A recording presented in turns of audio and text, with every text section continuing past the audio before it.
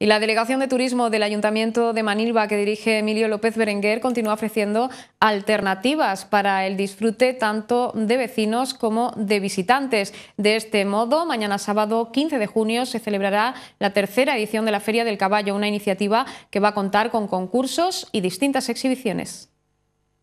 La Delegación de Turismo del Ayuntamiento de Manilva, que dirige Emilio López, ha organizado la tercera Feria del Caballo, un evento que se celebrará este sábado 15 de junio en la playa de la Noria. Las actividades darán comienzo a las seis y media de la tarde con el desfile de caballos participantes a lo largo de las calles de Sabinillas.